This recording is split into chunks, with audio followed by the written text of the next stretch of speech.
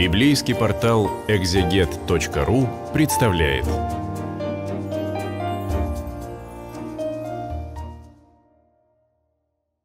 Сегодня на библейском портале «Экзегет» мы приступаем к изучению подлинно пасхальной книги, книги деяний святых апостолов.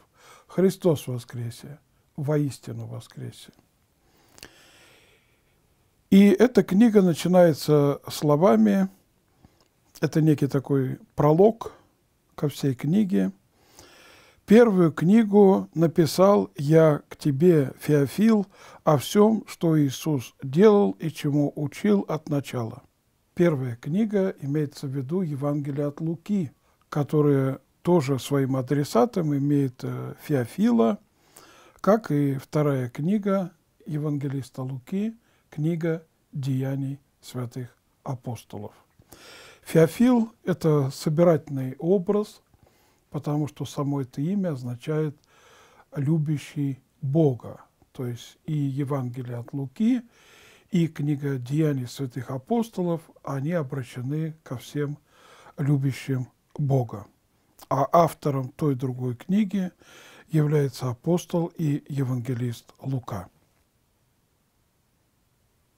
Первую книгу написал я к тебе, Феофил, о всем, что Иисус делал и чему учил от начала, до того дня, в который Он вознесся, дав Святым Духом повеление апостолам, которых Он избрал, которым явил себя живым по страдании своем со многими верными доказательствами в продолжение сорока дней, являясь им и говоря о Царстве Божие.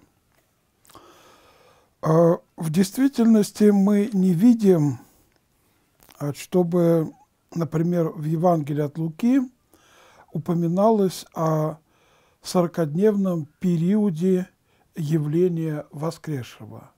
Поэтому то, что мы сейчас читаем, это как бы и дополнение к Евангелию от Луки. И действительно сразу возникает вопрос, а почему Христос в течение 40 дней являлся апостолом после своего воскресения? Почему он не вознесся сразу после своего воскресения? Мы уже отчасти в других беседах касались этого вопроса. Христос называется первенцем из мертвых. И сразу возникает вопрос, а какой же он первенец из э, мертвых, если было воскрешение Лазаря четырехдневного, было воскрешение сына Наинской вдовы и других людей. И это описано не только в Новом, но и э, в Ветхом Завете. Да, те люди были воскрешены из э, мертвых, но потом, прожив какое-то время на земле, они умерли. А Христос, который воскрес, он уже не умирает никогда. Поэтому в течение 40 дней, являясь апостолом, Христос как бы показывал им новый формат воскресения. И в этом смысле действительно он первенец. И мы, когда умрем, а потом воскреснем, то после этого уже не умрем никогда – но вечно будем живы перед Богом. Поэтому вот это уточнение, оно полно некого смысла. В продолжении 40 дней являясь им и говоря о Царстве Божием. А свидетельство о Царстве Божьем – это центральная тема очень многих бесед Иисуса Христа – Таким образом, он э, провозглашал теократические принципы, и самая главная христианская молитва содержит в себе слова э, о том, чтобы воля Божия состоялась яко на небеси и на земле, то есть как на небе, так и на земле. Христос, Он э, царь царей, в своем истинном человечестве Он совершал не только пророческое не только первосвященническое, но и царское служение. И то, что он проповедует о Царстве Божьем, с этого и начинается Новый Завет. Царствие Божие приблизилось. это тема и предтечи Иоанна Крестителя, это все не случайно. И собрав их, то есть апостолов и первых учеников, он повелел им, не отлучайтесь из Иерусалима, но ждите обещанного от Отца, о чем вы слышали от меня. Ибо Иоанн крестил водою, а вы через несколько дней после сего будете крещены Духом Святым. Это слова Христа, но мы имеем слова Иоанна Крестителя. «Я крещу вас в воде, но тот, кто идет э, за мною, будет крестить вас Духом Святым и огнем». То есть действием э, Христа Дух Святой э, сходит на нас. И это очень все взаимосвязано. Дух Святой не мог сойти на человечество, которое не было очищено от скверны греха, но когда Христос умер за наши грехи, воскрес для нашего оправдания, а очищенное человечество оказалось способным э, принять Духа Святаго. И Христос говорил, я пойду к Отцу, умолю Отца, и Он пошлет Духа Святаго, который научит и наставит вас на всякую правду. И по Иоанну Крестителю а, Христос есть тот, который крестит нас а, Духом Святым.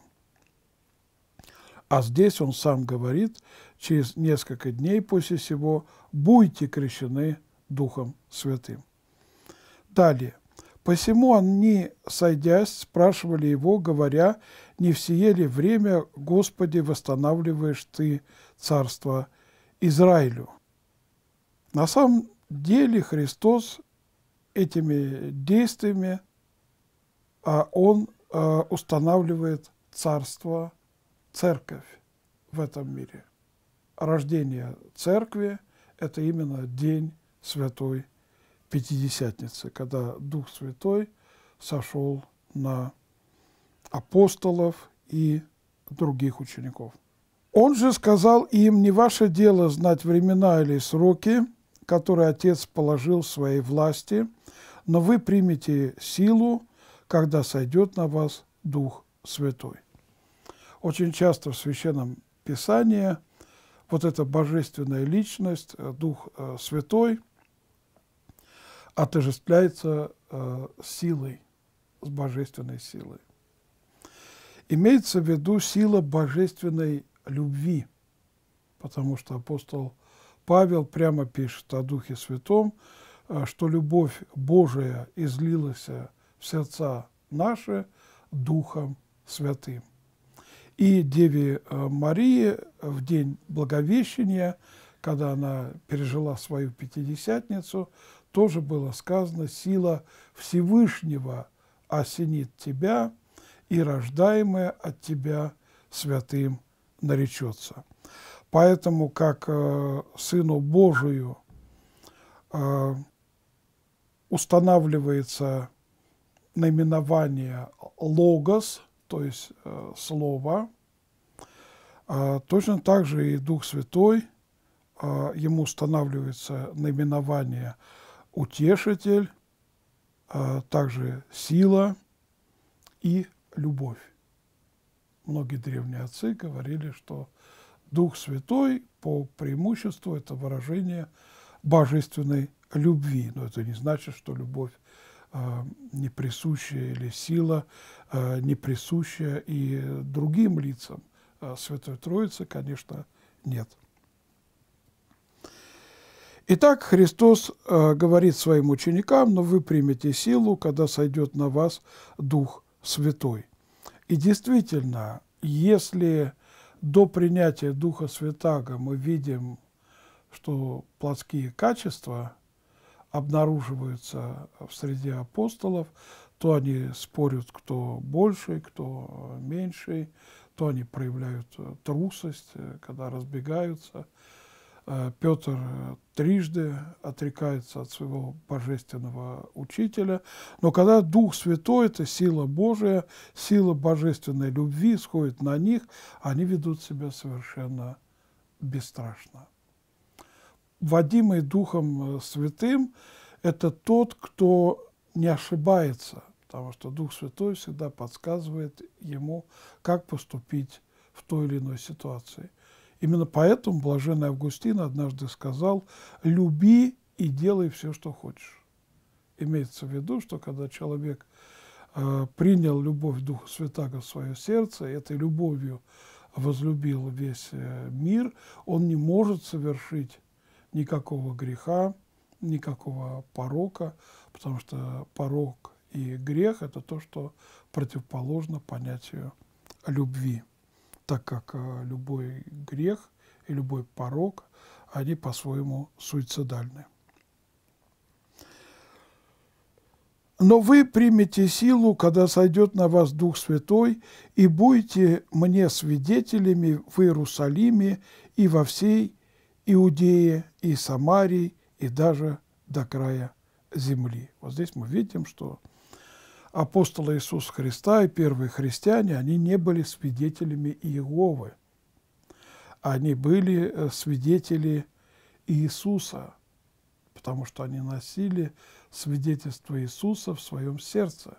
Давайте вспомним, об этом будем э, читать э, ниже сегодня, что когда Иуда погиб, то апостолы выбирают э, нового апостола на место Иуды по э, принципу, чтобы он был один из тех, которые находились с нами, как они скажут, во все время, когда пребывал и общался с нами Господь Иисус, начиная от крещения Иоаннова до того дня, в который Он вознесся от нас и э, был вместе с нами свидетелем воскресения Его. То есть апостола выбирали по принципу, он должен был быть свидетелем событий от Иоаннова крещения до смерти Христа, быть свидетелем Его воскресения и Его вознесения. Таковых, кстати, было немного, где-то около 120 человек. 120-150, не больше. И апостолы это были те, которые имели свидетельство Иисуса, и они должны были нести это свидетельство до края земли. А что значит край земли? Имеется в виду, что надо было донести это свидетельство до каждого человеческого сердца. Сказав сие, он поднялся в глазах их, и облако взяло его из вида их. Далее мы читаем, «И когда они смотрели на небо во время восхождения его, вдруг предстали им два мужа в белой одежде и сказали, мужи галилейские, что вы стоите и смотрите на небо, сей Иисус, вознесшийся от вас на небо, придет таким же образом, как вы видели его восходящим на небо. Вот эти два мужа в белоснежных э, одеждах, церковная традиция устанавливает, что это были ангелы Божии. И они свидетельствуют о Христе, что как Он вознесся, так Он и вернется в этот э, мир с небес. И с этого момента история церкви становится историей ожидания. Когда же небеса шумом придут, и Христос явится в реальность этого мира. Все Иисус, вознесшийся от вас на небо, придет таким же образом, как вы видели его восходящим на небо.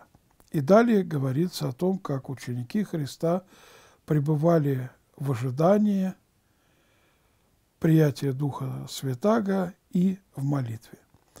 Тогда они возвратились э, в Иерусалим с горы, называемой Илион, А, кстати, вот эта гора – это не случайная деталь.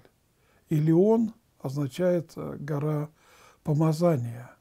А так как помазание Духа Святаго э, совершалось над первосвященниками и царями, то надо понять, что в таинстве мира помазания, когда мы переживаем свою Пятидесятницу, мы становимся все крещенные царственным священством.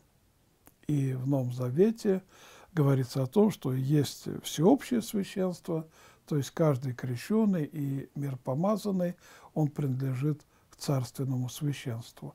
А есть сугубое священство в церкви, это деканат, пресвитериат и епископат. Тогда они возвратились э, в Иерусалим э, с горы, называемый Елеон, который находится близ э, Иерусалима в расстоянии субботнего пути. И, придя, взошли в горницу, где пребывали Петр, Иаков, Иоанн, и Андрей, Филипп, и Фома, Варфоломей, и Матфей, Иаков Алфеев, и Симон Зелот, и Юда, брат Якова. Вот здесь мы видим, что они перечисляются попарно. Попарно. Что это значит? Давайте вспомним, что Христос посылал их подвое, подвое на проповедь. Из этого текста мы можем установить, в какой паре был Иуда Искариот. А он был в паре э, с Иудой, братом Иакова, потому что только этот в этом перечне оказался без своей пары. И 14 стих. «Все они единодушно пребывали в молитве и молении с некоторыми женами и Марией, матерью Иисуса и с братьями Его». Вот это э, то, что называется по-еврейски ремис, то есть намек – мы можем сподобиться нисхождения на нас Духа Святаго, если и мы а, в молитве и в молении прибудем с Матерью Иисуса. И с братьями Его, то есть со всеми остальными христианами, хотя здесь э, братьями Его а, называются дети Иосифа, обручника Девы Марии, которые имели такой статус. То есть, когда наши молитвы и моления возносятся к Богу вместе с ходатайством Девы Марии, то это усиливает действие этих молитв. Далее рассказывается об избрании апостола Матфея. «И в те дни Петр, став посреди учеников, сказал, было же собрано человек около 120. Мужи-братья, надлежало исполниться тому, что в Писании предрек Дух Святой устами Давида об Иуде, бывшем вожде тех, которые взяли Иисуса. Он был э, сопричтен к нам и получил жребий служения сего, но приобрел землю неправедной мздою, и когда не зринулся, а расселось чрево его, и выпали все внутренности его, и это сделалось известно всем жителям Иерусалима, так что земля та на отечественном их наречии названа Акелдама, то есть земля крови. Здесь мы видим, э, что Петр действует э, как э, лидер первой общины христиан, хотя мы знаем, что главой Иерусалимской церкви был Иаков, э, брат Господин, но в данном случае э, Петр берет инициативу в свои руки. И он продолжает. В книге же псалмов написано «Да будет двор его пуст, и да не будет живущего в нем, и достоинство его да примет другой. То есть то, что произошло с Иудой, все это было предсказано. Итак, надобно, чтобы один из тех, которые находились с нами во все время, когда пребывал и обращался с нами Господь Иисус, начиная от крещения Иоаннова до того дня, в который Он вознесся от нас, был э, вместе с нами свидетелем воскресения Его. А почему здесь подчеркивается, что новый апостол должен быть именно свидетелем воскресения Христа? Потому что одно из главных содержаний апостольской проповеди – это свидетельство о чуде Его воскресения. А мы знаем, что э, свидетельство о воскресении Христа подчеркивает именно божественное происхождение Христа. Это с одной э, стороны. С другой стороны, свидетельство о его воскресении – это свидетельство о той победе, которую одерживает своим воскресением Христос над смертью, потому что он смертью смерть попрал. А это победа над э, дьяволом, который не смог удержать э, душу Христа в аде. Это победа над грехом, когда Христос, э, сойдя в ад, благовествовал находившимся там ветхозаветным праведникам, и грех не смог их удержать э, в аде, потому что они тоже были омыты кровью Христа, и Он вывел их из этого мрачного места. И далее об избрании Матфия и поставили двоих Иосифа, называемого Варсавою, который прозван Иустом, и Матфия. И помолились, и сказали, Ты, Господи, сердцеведец всех, покажи из всех двоих одного, которого Ты избрал, принять жребий сего служения и апостольства, от которого отпал Иуда, чтобы идти в свое место. И бросили о них э, жребий, и выпал жребий Матфию, и он сопричислен к одиннадцати апостолам.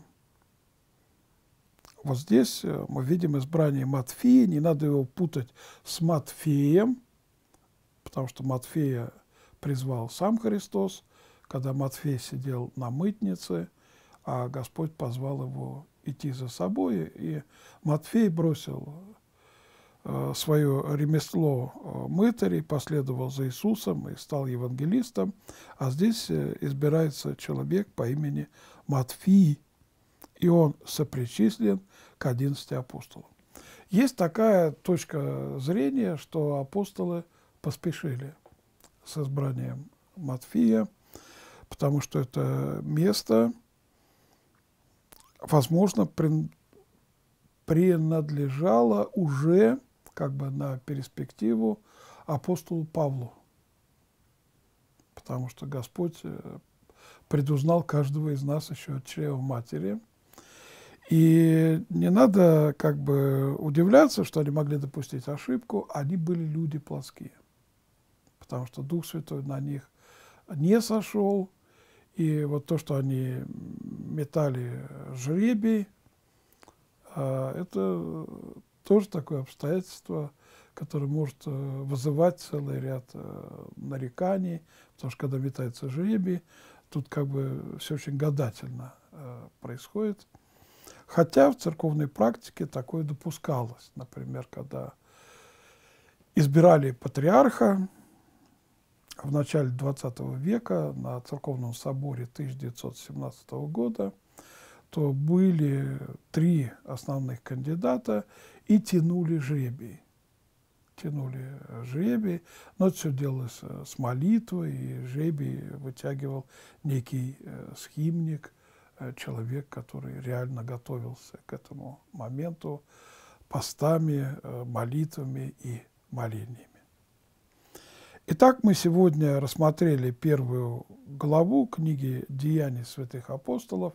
И если мы будем живы, Господь позволит, то в следующий раз мы будем читать вторую главу этой книги.